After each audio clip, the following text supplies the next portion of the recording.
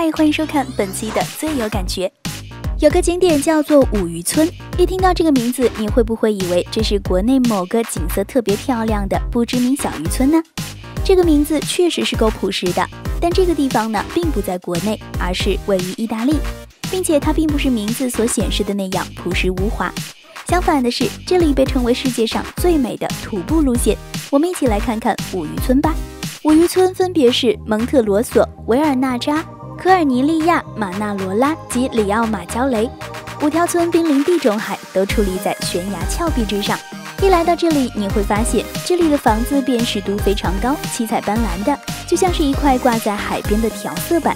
另外呢，从颜色上是无法区分每条村庄之间的边界的，但每条村庄都有一个自己的火车站。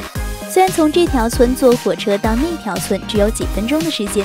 真的不知道他们为什么还要在这么小的地方分出五条村来。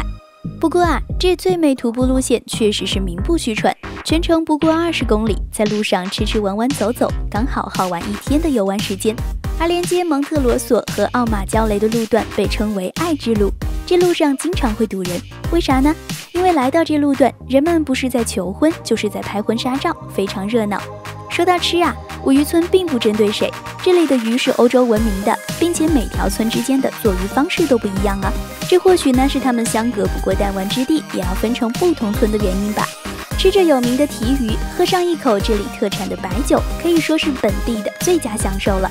对的，这里也生产白酒，不过不要误会哦，这里的白酒不像我们国内的白酒香浓干烈，却是咸的，非常有地方特色了。发现更多旅行趣闻，请关注最有感觉。洋洋和你不见不散呢。